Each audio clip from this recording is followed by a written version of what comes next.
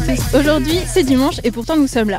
Le bureau des étudiants de la TADEI, qui regroupe les filières kiné, ergo, psychomote et podo d'Alençon, organise une clean walk afin de ramasser les déchets dans la nature. C'est parti Bonjour Romane, est-ce que tu peux nous dire comment est venue l'idée de la clean walk?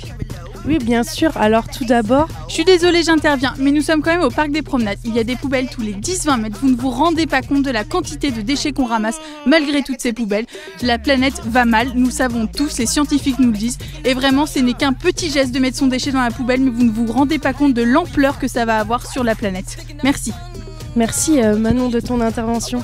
Alors déjà, ça venait des adhérents qui nous ont parlé euh, de l'éco-responsabilité euh, euh, dans les questionnaires de satisfaction qu'on leur a transmis. De plus, on adhère à la FCBN, Fédération Campus Basse Normandie, qui organise en février son mois du développement durable. Et euh, on voulait inscrire euh, la dans ce mouvement et motiver les troupes, motiver l'IFRES. Et je voulais tout particulièrement remercier Maxime Cassati, VP développement durable de la FCBN, pour son engagement, son écoute et sa motivation tout au long de l'année. Merci beaucoup, Roman.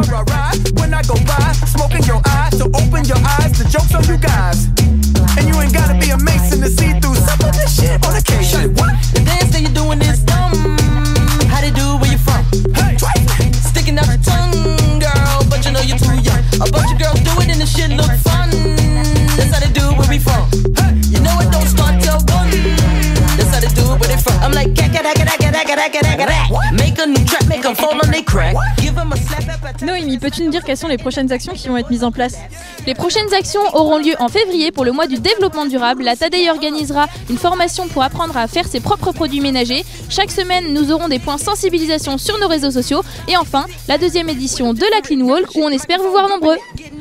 Et non, je ne vais pas être cash une deuxième fois, même si je n'en pense pas moins. Je voulais juste vous dire que sur Alençon, nous sommes plus de 2000 étudiants et que si nous nous bougions tous, on pourrait vraiment avoir un bel impact. Merci d'avoir regardé cette vidéo et à bientôt sur InSitu TV. Ciao That's how they do where we from. That's how they do where they from.